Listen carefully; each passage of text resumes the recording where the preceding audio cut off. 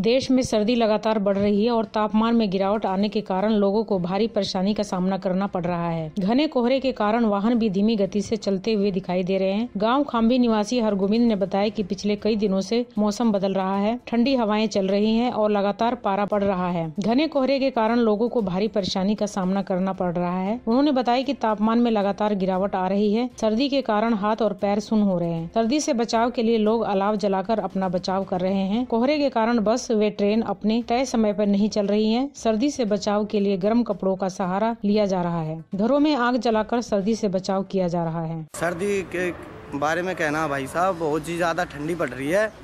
कहने का मतलब है कि बहुत ज़्यादा कोहरा है घर से बाहर निकलने में फ़ायदा नहीं है। अब तो तापमान थोड़ा सा कम है।